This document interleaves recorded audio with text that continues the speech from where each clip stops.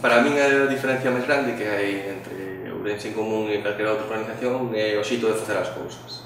Nós creemos que, tendo en conta a opinión da xente, eh, tendo presencia na rúa, indo aos barrios a buscar a súa opinión, as súas inquedanzas e as súas necesidades, é o xeito de dar resposta a todos os problemas que poden xurdir no día a día no Concello de Ourense. E así é como intentamos facelo, como creamos un programa eh, electoral e como creemos que ten que ser a vida política dentro da institución.